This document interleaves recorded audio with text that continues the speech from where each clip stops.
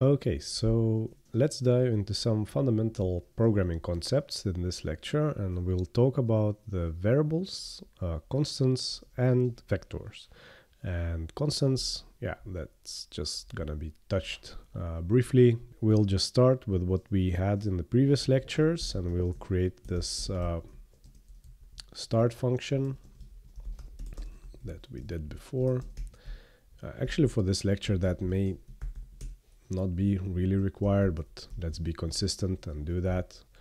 Um, what we will do is now just for simplicity, uh, we will create a three-dimensional grid ground so that it would be easier to read the geometry that we place in space. And points are quite hard to read because they are, well, uh, you know, they are in 3D space, but they're sort of very simple entity and it's sometimes hard to understand where the point exists in space if you don't have some sort of uh, context uh, for it. So let's create that context and uh, in bit by bit you can create a grid by just doing this. So bit by bit draw draw grid mesh and then we can create these options for the grid like that. So uh, we'll do constant grid options and we'll instantiate um, the grid options as we did other things in previous lectures and we'll just hit play and now you see that we have a three-dimensional grid ground on our 3D environment after we swap the canvas. So now we are back in the editor and we see our grid in the background. This just is helpful. You'll see uh, immediately why. So what I will do now is something that maybe we did already in the previous lecture, but um, I'll just create a constant called vector and I'll do this. So I'll open up the square bracket and I'll just type 0, 0, 0 to it, separated by commas. So what I've just created is an array. This symbol uh, marks the start of the array and this symbol the end of it. And the array is basically just a list of items in JavaScript or TypeScript. So both can hold any kind of things in the array. And in this case, we hold three numbers. So 0, 0, 0. These in bit by bit mark the three-dimensional point basically. It's uh, on the start of the coordinate system and it's just a sort of simple structure. So first number marks the x coordinate, uh, second number y coordinate, and third number marks z coordinate. And vector itself is just a constant. So we'll show you how to now draw this point in space. And let's do that through our very well known function that you saw before already. Draw draw any async and in this case we'll say entity is a vector. So these few lines is something that you probably now understand and we hit play. And you see this small red dot on your grid. If it's not very visible for you uh, we'll create the options uh, for the draw method and we'll do it like that. So you see that the options can get the basic geometry options and points and lines and polylines can use those uh, to just change, for example, the size of a point or the width of the line. And what we will do is we'll say we create a draw options and we'll create instantiate the options like we did before and we'll pass those options here like that. Don't worry now about this notation. This is a JSON object notation and yeah, we'll talk about it in later tutorials. For now, we do discuss the arrays and this is a simple array that we've defined with three items. So let's create the, the size that is 40 and let's hit play. So now you see that the point became larger. It's still on 0, 0, 0 uh, space. So we can change that by just changing the y item in this array. So this will be uh, one unit higher than it is now because the y uh, vector marks up direction in space in bit by bit as in many other game engines, but sometimes you see that the Z is marked as an up direction, and in this case, Y is marked as an up direction. So now, if I move around, you see that the point is hanging a bit higher in space. I can change it to 10, for example, and now it's somewhere really high. Um, you see it here. So that's quite cool. Okay, so we've created the point now, a vector. We visualized it. We can also change its color. Um, we can do it with this hexadecimal notation that I I'm not gonna explain now, but you'll see um, what it does later. Hmm this is ah colors. Okay so with you. So this is a bit of a mistake on my side. You see that the typescript was helpful here. So it just knows that this property doesn't exist and colors does exist so now if I hit run you'll see that the point has changed the color to this uh, purple I guess and yeah so this the options drives how the points are being drawn on the screen you can also change other coordinates if you're into that. So now your point is a bit further away from the zero. And just to create another vector, so let's call this one vector 1.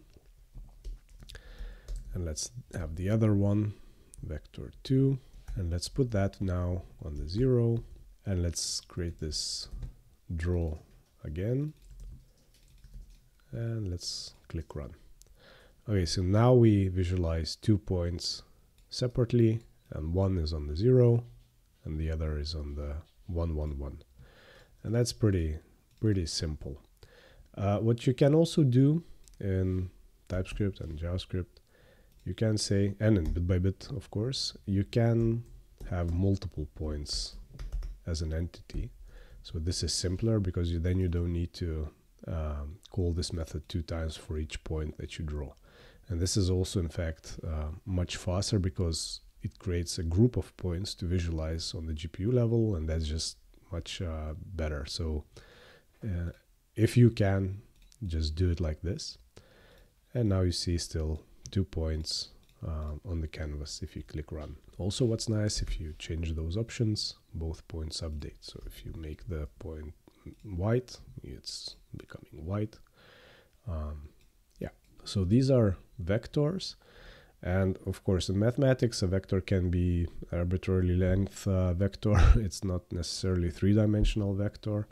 Um, arrays can hold many items in TypeScript and JavaScript, so you could continue here and say, let's have this and this.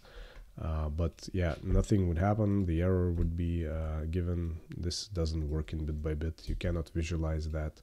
So basically we have to come back and just uh, do it like that. Okay, so now we discussed arrays and that's quite a complex thing. Uh, array can hold uh, not only numbers, but it can also hold text. So you can do things like that. You see that it's perfectly legal.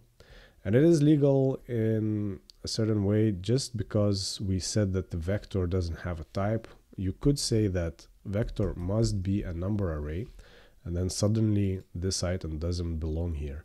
And that's nice of TypeScript to understand what kind of uh, type the vector2 is.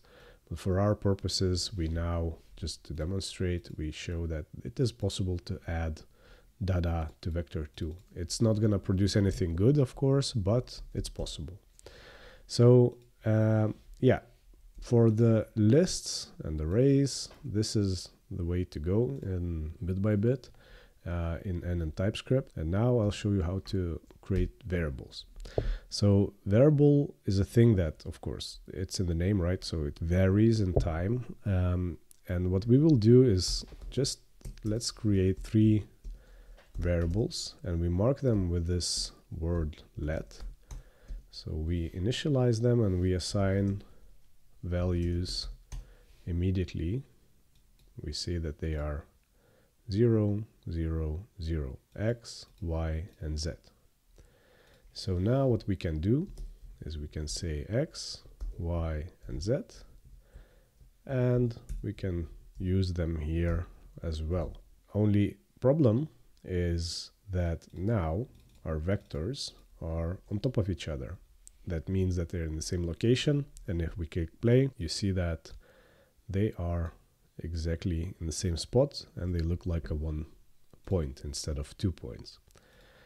What's nice about variables is that because they are flexible, you can say things like, let's change y to 2 and let's change z to 1 for example. So this makes it possible to adapt your coordinates just by reassigning values later in your code. And that's perfectly legal. If you run the code now, you see that the first vector is now on the 0, 0, 0, and the second point is on the y2 and z1. So you see that it's two units up and one unit uh, towards the z direction. And if you want to change z to minus 1, that's also fine. You can do that. You can also do y to minus 2 then it goes under the grid. So this is why grid is also helpful right? So you see it better basically.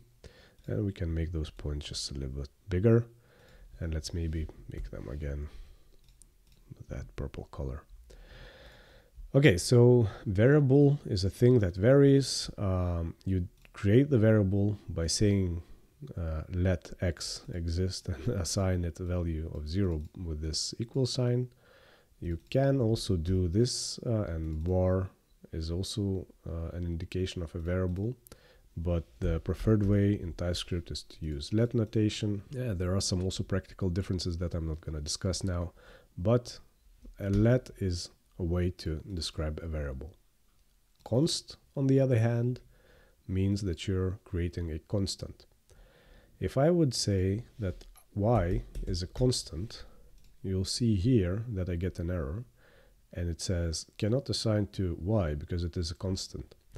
Constant prevents you to change things uh, as you go, as you program, and that's quite safe because sometimes you really don't want things to change in time. Uh, sometimes you do, and when you do, then the variables are handy, but basically a standard that I use. I always start with constant. If I initialize something, I'll just create a constant.